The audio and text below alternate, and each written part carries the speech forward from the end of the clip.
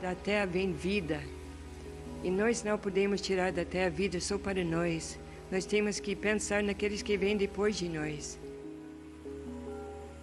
Então a terra tem que ser para sempre. Então nós temos que tratar ela com muito carinho, porque a terra é fonte de vida para o povo de Deus.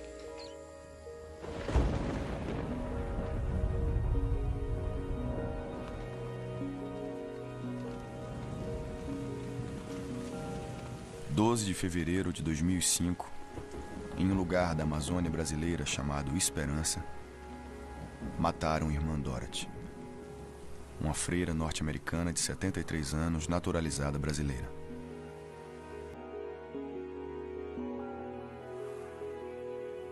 One of the things that, that makes me as a person work is the magnificence of the forest. And so, how can we help bring an awareness what's happening so that there's a chance for people to live and enjoy the beauties of this magnificent world that I've had the chance to live?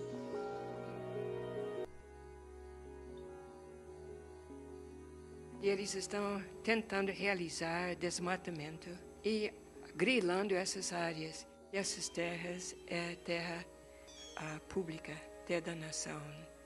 Essas terras não têm documentos que garante um madeireiro ou fazendeiro direito a essa terra.